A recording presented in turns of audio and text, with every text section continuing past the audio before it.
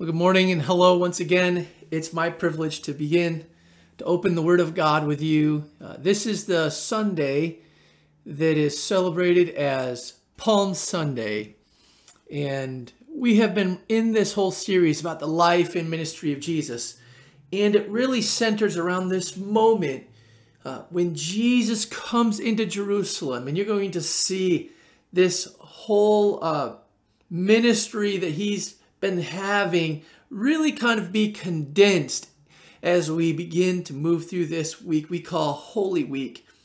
And, and so all the events are kind of bunched closer together. We're going to see a significant ramping up of ministry activities. We're also going to see a pretty exponential ex- escalation of Jesus' interaction specifically with the religious leaders. And so this is a really pivotal moment that uh, obviously moves us toward next Sunday, which culminates in the resurrection and our celebration of that. Uh, but I am really uh, thrilled to be able to open up the Word of God with you. So if you have your Bibles, you might want to take them and keep them open in front of you. We're actually going to be working through several different passages in chapter 11 here of Mark.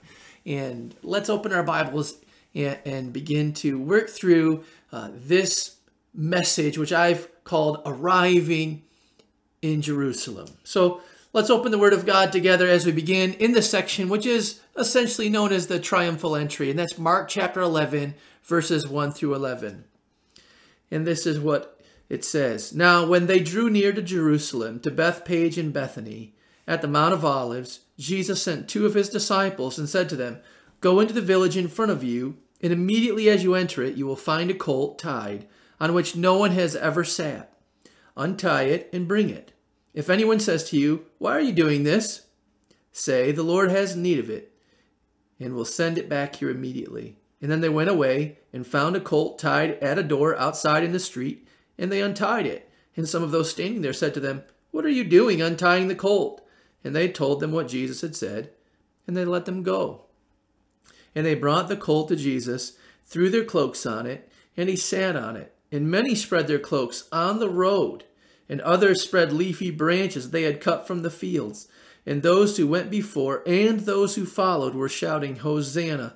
Blessed is he who comes in the name of the Lord. Blessed is the coming kingdom of our father David. Hosanna in the highest. And he entered Jerusalem went into the temple, and when he looked around at everything, as it was already late, he went out to Bethany with the twelve. So, this is the first moment that's recorded for us here, and we see that Mark points out a very uh, few interesting things here as we begin. We see these prominent themes starting to come to the forefront of Jesus as a king, of Jesus who saves. That's what Hosanna really means. It means Lord save or save us. And then we see this aspect of Jesus as a promised Messiah. And you're like, well, where are you getting that out of that passage, Pastor Doug? Well, let me explain a little bit of what's going on here. So, first of all, Jesus has already been making his way toward Jerusalem. I've been alluding to that several times in the messages leading up to this. And we know John records for us in his gospel that there had been a moment where Jesus stopped over with and raised Lazarus from the dead. We know that that happens. He stops back in through Bethany. He's making his way to Jerusalem. There's a whole group of people that were already kind of crowding around Jesus because they had seen and, and been part of this miraculous event. And as they draw near to Jerusalem, we know that that crowd continues to grow. There's a lot of buzz going on as Jesus continues to get closer to the city. Well, as he nears the city, he says to his disciples, I want you to go in and untie this colt and bring it to me. Now, that seems a very strange request, but there's a little bit of information that Mark doesn't give to us. But if you have your Bibles and you want to turn real quickly over to Matthew, Matthew is going to give us a little more context as to why Jesus is going to ride on this donkey and also why the crowd responds the way they do. And this is what it says in Matthew chapter 21. Now, when they drew near to Jerusalem, came to Bethphage, the Mount of Olives, Jesus sent two disciples, saying to them, Go in the village in front of you, and immediately you'll find a colt or a donkey tied, and a colt with her. Untie them, bring them to me. If anyone says anything to you, you shall say, The Lord needs them, and he will send them at once. This took place, notice what Matthew says, to fulfill what was spoken by the prophet. Now, the prophet he's referencing is Zechariah, and we see in, in chapter 9, verse 9. This is what the prophet Zechariah says Say to the daughter of Zion, Zion, Behold, your king is coming to you, humble and mounted on a donkey, on a colt, the foal of a beast of burden. And so these people who are also crowding around Jesus, many of them obviously are very likely Jews and even potentially headed to Jerusalem to celebrate Passover. The Mount of Olives was one of the two places where there was kind of a bazaar that would have been set up, mostly for two things. It's not just for the temple, which we're going to read about in a minute, but it was to equip people who were traveling to the city so they could change their money uh, to temple currency. There was a, a place there around the Mount of Olives they could do that. They could also even buy animals for sacrifice if they were worried that they would not be able to purchase them uh, in the temple. And many people would do that, try, or attempt to do that outside the city because, as you're going to find out, inside the temple, they charged a lot higher rate. It's kind of like you, and you pay more for gasoline when you're on the throughway, right? As opposed to just at a regular gas station. And you pay more for food when you're at one of the travel stops as opposed to just where you would pay regularly. So that's kind of what happened, and we're going to get to that in a minute. But Jesus, knowing this prophecy, and knowing that it would be fulfilled in this, he has his disciples untie this colt and bring it. Now, notice the people's response. There's there's three responses I want to just briefly go over. Number one is that they throw their cloaks on this donkey, right? And, but they also, it says, spread their cloaks on the road. Now, this was the greeting that was reserved for royalty, for someone who was a king. And so by spreading the cloaks on the road, it was hailing Jesus as a king. And you see what they said. Blessed is the coming kingdom of our father David. Hosanna, he saves in the highest. And so there was this anticipation that Jesus was going to be this conquering king, almost reestablishing the Davidic kingdom once again in all of its glory. And so they were shouting that he is a king and proclaiming that by spreading their cloaks. But they were also shouting Hosanna, that God saves or save us. And they were crying out for liberation. They wanted Jesus to come and liberate them. And the expectation, much the same as the disciples, which I referenced in my previous sermon in this series, was uh, for, for all the Jews that the Messiah would be someone who would deliver them from their oppressors, the enemies around them. The Messiah would come and free them from that yoke of oppression. And they were under the, the iron fist of Rome. And they anticipated the Messiah was going to deliver them out from underneath that oppression. And so we see they're shouting, Hosanna, Hosanna in the highest. Blessed is he who comes in the name of the Lord. Also, another proclamation from the Old Testament about the messianic nature of Jesus. And so they're proclaiming him, him as a king, they're proclaiming that he can save, and they're proclaiming that he's a promised Messiah. Now, in juxtaposition to this loud, uh, just raucous crowd that's making all this noise, you have Jesus who's riding in uh, in the strangest of fashions on this donkey, a, an ordinary beast of burden. And that just doesn't square. He's not in a chariot. He's not on a royal, you know, horse and with all this pomp and circumstances. No, he, he comes in humble. And it's very interesting. Luke, in Luke's recording of this, he says that as Jesus drew near the city and he saw the city come into view, he, he stops and he actually weeps over the city. And he says, If only you had known on this day what would bring you peace. But it's hidden from your sight. Do, do we understand the mission of Jesus? Jesus came in humbly as a servant, which I've spoken with you about previously in this message or in this series. But yet the, the crowd wanted to make him a king. He came to serve and to give his life as a ransom. They wanted him to, to deliver them from their oppressors. You see, one of the things that happens in this narrative, this account, really kind of plays out in front of us this reality. Often, our mission is not the same as Jesus. Our, our idea of what Jesus' mission is um, is different than his. Our idea is, you know, Jesus is going to come and he's going to do these things for me. Well, Jesus' agenda may be very different than yours. His mission may be very different than the one that you have in mind, in much the same way as his mission differed so much from the crowd's expectations. I want to caution you not to come to Jesus with your agenda, but rather come to Jesus accepting his. Jesus said, I've come to seek and save that which was lost. You know, during this whole time in our nation, there's a lot of people that are asking questions, including spiritual questions, and they're seeking Jesus. The danger here is that many people will come seeking Jesus, just like the crowds that thronged around Jesus because they were excited. Oh man, if he raised Lazarus from the dead, maybe he can do this for me. Maybe he could feed me this. And Jesus at one point said to those who followed him, You're following me because you ate all these loaves. That was after he fed 5,000. And it's so easy for us to come to Jesus with my agenda instead of coming to Jesus in order to receive his agenda into my life. We come to Jesus and tell him how we want to be saved. Jesus comes and tells us how he's going to save us. Which way are you approaching Jesus? Are you approaching him in the sense of, here's what I want you to do for me? Or are you coming to Jesus humbly, like he modeled, and say, What can I do for you? And are you saying, Jesus, what, what do you want from me?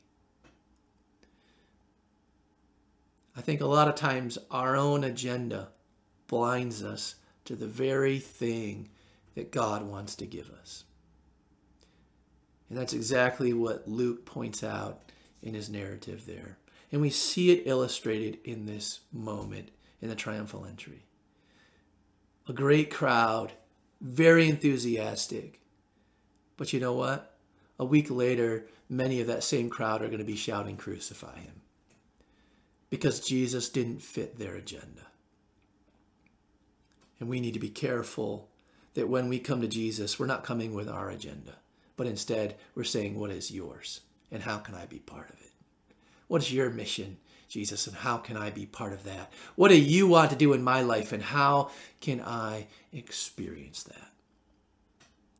Well, there's two other things that happen, and I want to get to those. The next really significant moment that happens is just a few verses down, beginning in verse 15. And we see Jesus the following day is going to return to the temple.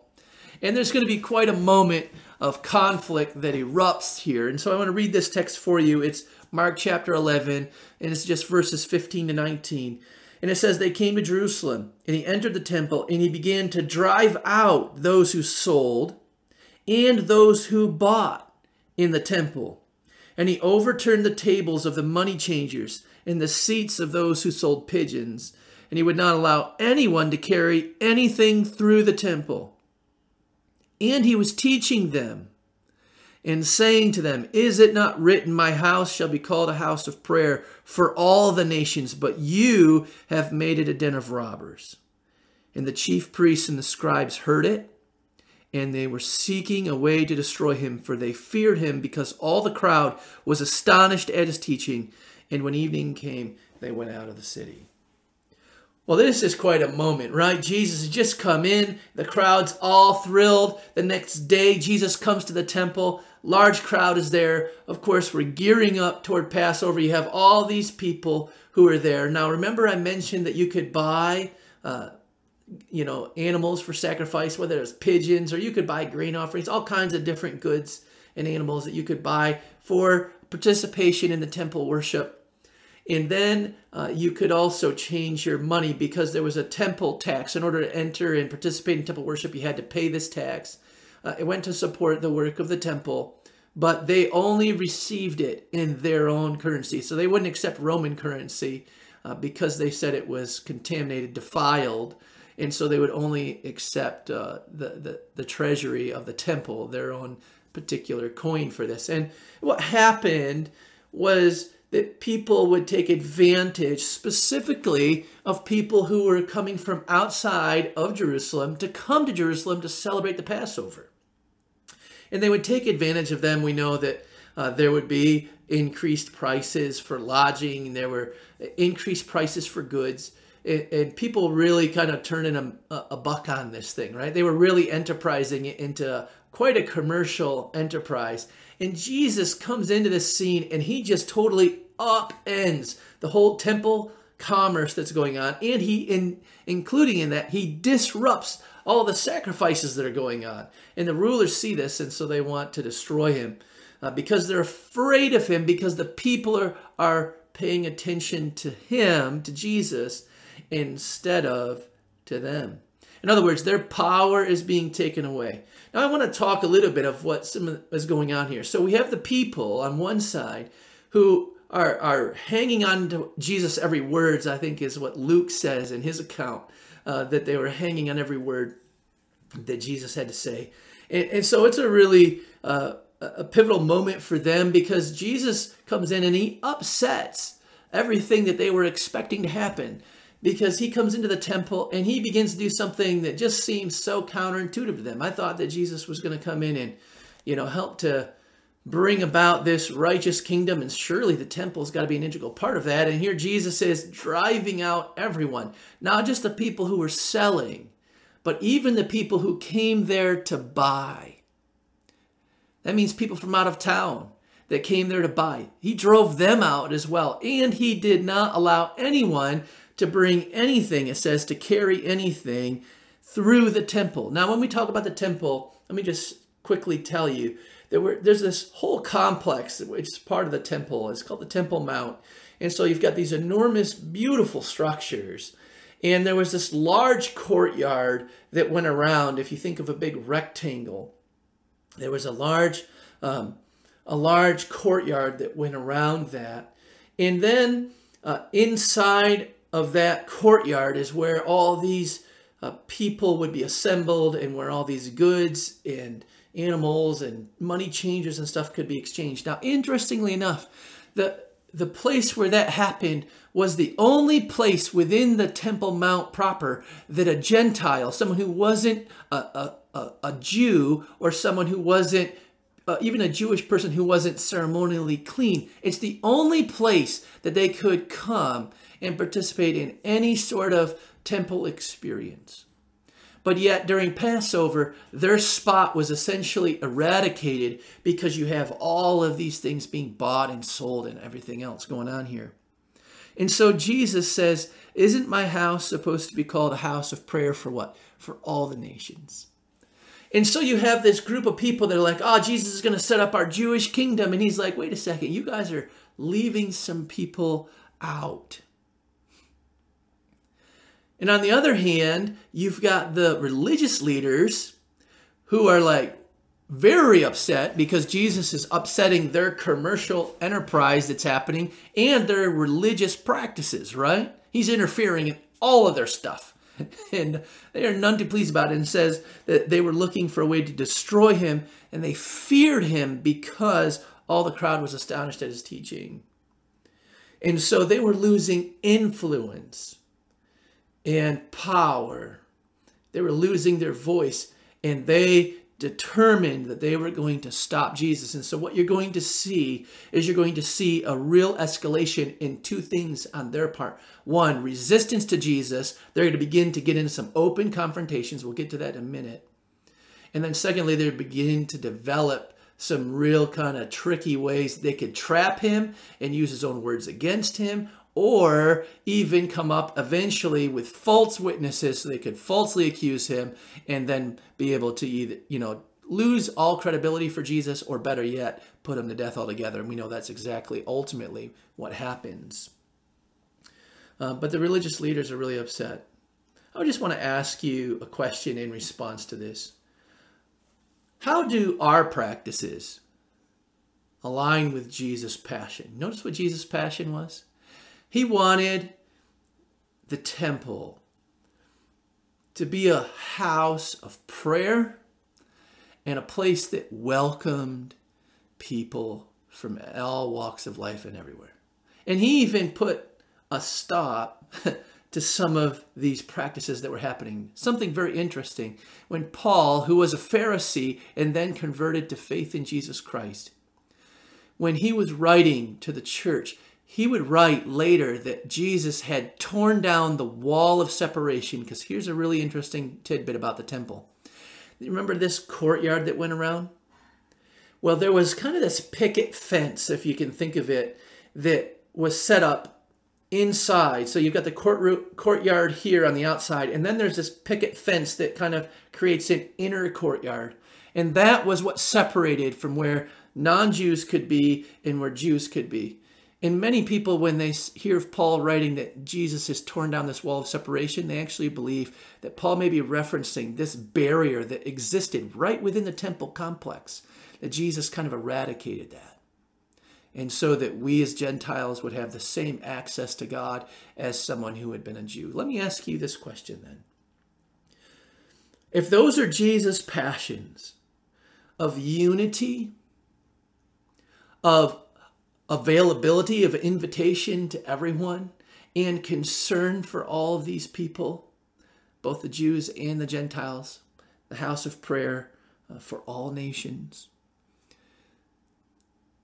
If Jesus' concern was uh, zeal for righteousness and the things of God, how do our practices line up with that?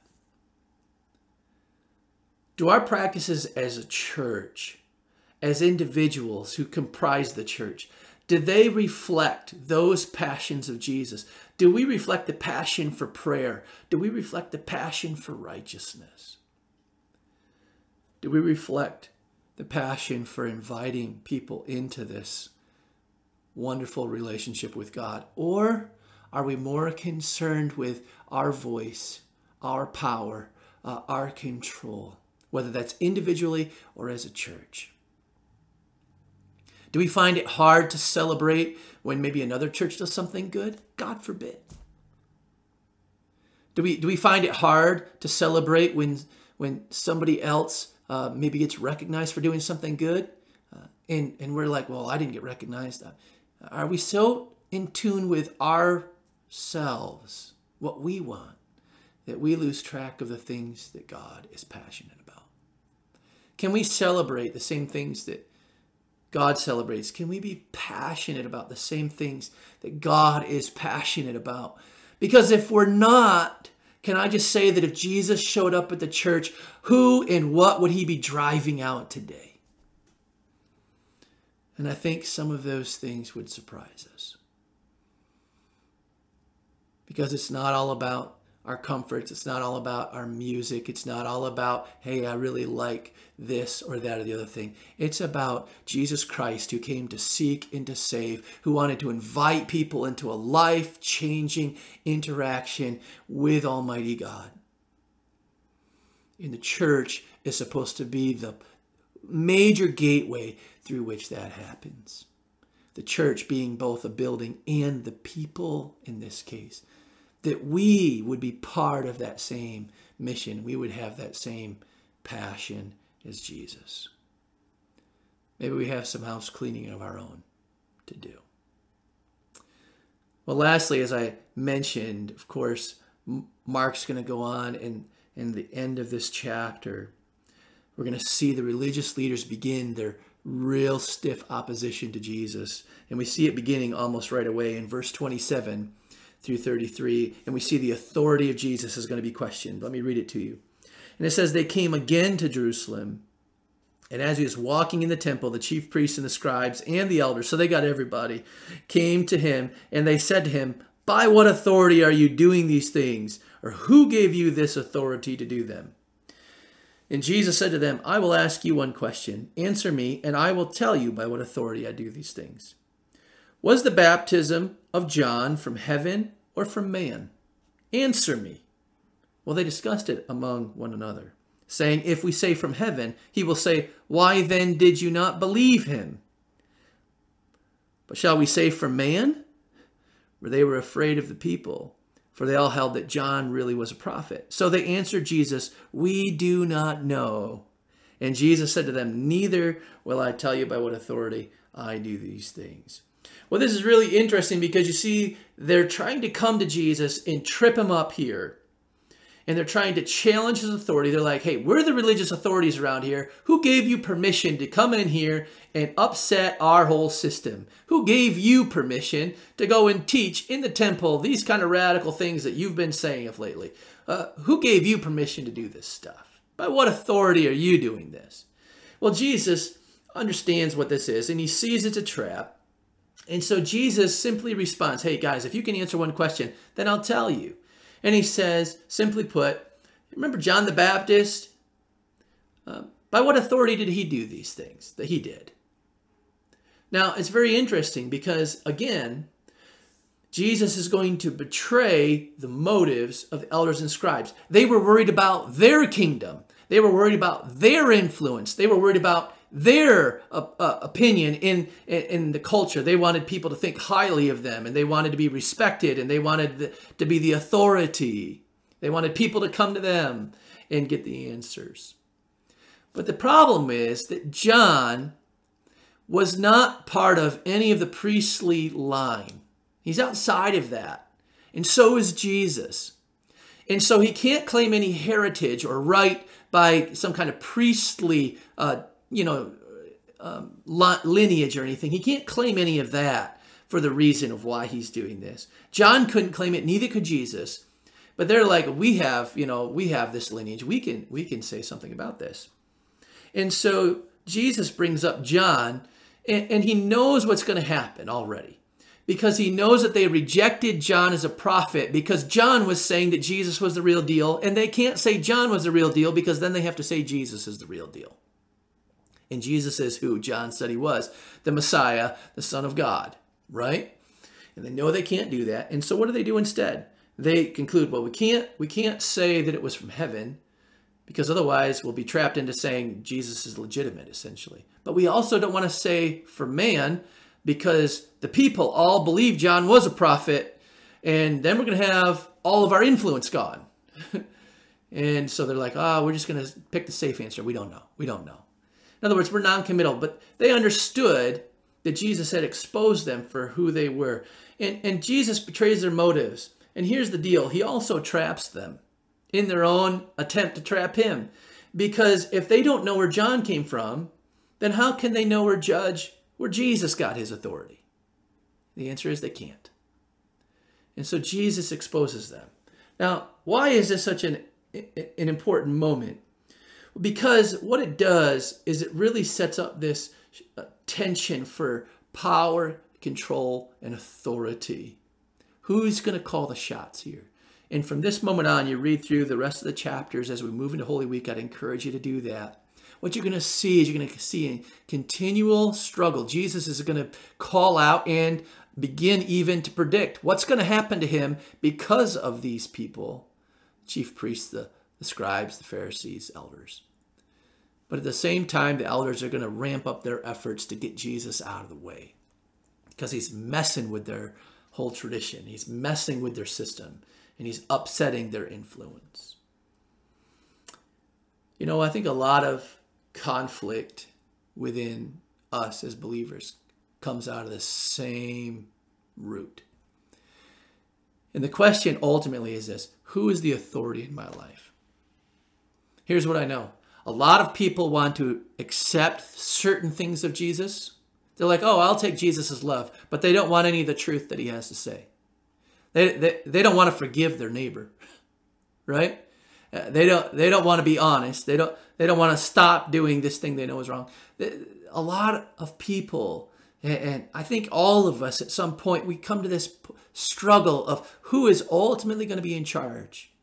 And that's exactly what happened here. Let me just say to you that if you want to participate in the mission of Jesus, if you want to display the same passion for the things that Jesus was passionate about, you've got to come to this position that you're not in charge here. That at the end of the day, it's not going to be you who's calling the shots and telling Jesus what he needs to do. At the end of the day, you're going to be the person who's going to say, The Word of God is going to tell me what to do. Jesus Christ, the truth that is revealed to us, is going to tell me what I should do not people's opinion, because that was what swayed the religious leaders. They didn't want to lose face with people. But at the end of the day, a follower of Christ has to come to this same position, this same struggle, and say, you know what? Christ is going to define what I say, what I believe, and what I do. Not fear of someone's opinion of me, not you know, fear of losing influence or my own power and authority. I'm in charge. Instead, it's going to be, you know what? He's in charge, and I'm just going to I'm going to walk in obedience and humility before Him. And so, how can you be the church in response to this? I think it's really simple. It's for you to adopt the same mindset that Jesus lived with, and that is coming in humility and obedience. And if you walk in humility and obedience before the Lord, then you're going to have His kingdom come instead of yours and you're going to have his will be done instead of yours. And ultimately, when it comes push to shove, you're going to say, God, you've got to have your way, not me here. And you're not going to let fear of others or fear of what someone will think or even your own personal, I want to do this instead, selfish, you know, motivated behavior on my own. You're not going to let those things drive you. It's going to be the truth of God's word that's going to drive you. And then, then you can truly experience the kingdom coming in your life just in the same way that Jesus expected you would and wants so badly for you to experience. So I pray this is helpful to you. And I pray at the end of this message, what you'll do is maybe just say, God, if there's some house cleaning that needs to be done, would you do that in my life right now? Uh, if there's some change in the motives and passions that maybe priorities that I've had, would you would you help me to make those changes right now so that I might be the real true disciple, the follower of Christ that you've always intended for me to be? God may be so in our lives. Amen.